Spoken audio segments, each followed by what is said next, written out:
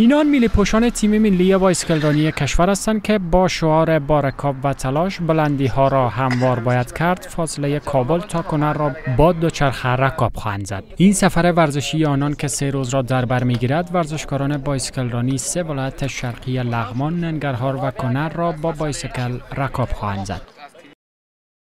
هدف سفر ما می است و دیدن با جوانان است با ورزشکاران ولایت های مشرقی است که اونا را ما بتانیم با ورزش تشویق کنیم و از جهل و بدبختی نجاتشان بتیم بیاریم به ورزش رو بیارن. په ولسم ریاست راغلی وم ډیر مشکلات ول حتی چې فدراسیون ورکو نه معلوم نه نتیجې نه و چې کوم ځای کې دا کوم ځای کې نه دا کله یو خوا کله بل خوا.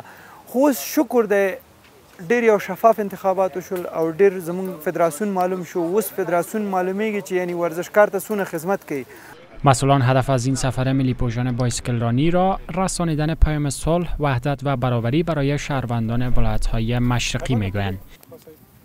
می‌خوایم برای رسانه. که جامعه ما دیزاین یا طراحی کردیم که تا بتانیم رسانه ما تشویق شوند چون همیشه هم کار ما بوده رسانه و برنامه بعدی ما البته مسابقات تیم ملی است که ده 8 سال میشه مسابقات تیم ملی بایسکلانی نشد انتخاباتش که ما بعد از سال نو همین انتخابات تیم ملی را داریم.